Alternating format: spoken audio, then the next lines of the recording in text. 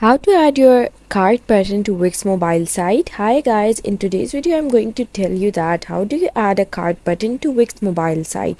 So what you have to do is come to your home page of Wix or the dashboard and just click this edit site option. And once you click this edit site option it's going to take you to your Wix website editor.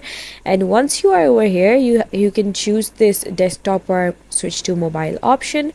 Right now we have to add this element to our switch to mobile option. So just click this option.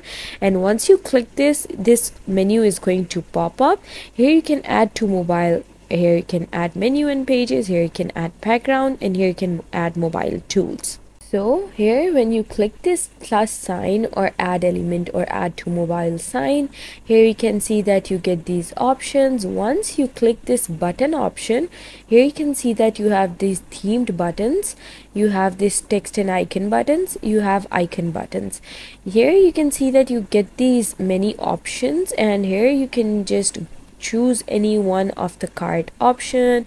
Just search for any card option and just add the button like the way you want for example you can just add this one for the card or the one like you resemble to your cart or something.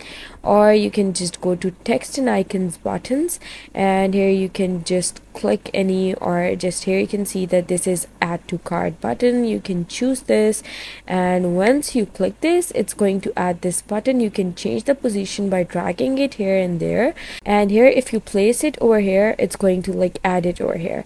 so so that's how you can add a add to cart button and i hope you like the process and if you did please don't forget to like and subscribe my channel. Thank you very much. See you again